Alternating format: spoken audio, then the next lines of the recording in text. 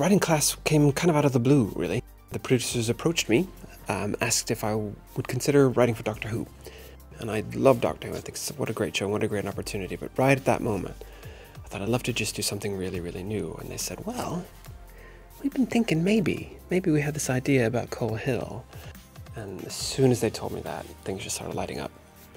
I thought being able to look at the Doctor Who universe from a different perspective. I mean, I, I would find that interesting as a viewer, and that's what I really wanted, I wanted to do as the writer of this.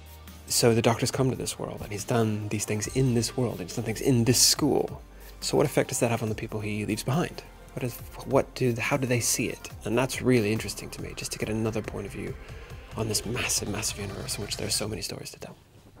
Class is funny and moving and exciting and scary and sexy and it's true, I hope, to what teenagers feel like their lives are.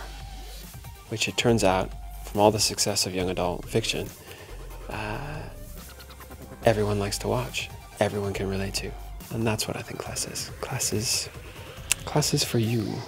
Fady El Sophie Hopkins, Greg Austin, Vivian Oparah, and show producer Derek Ritchie.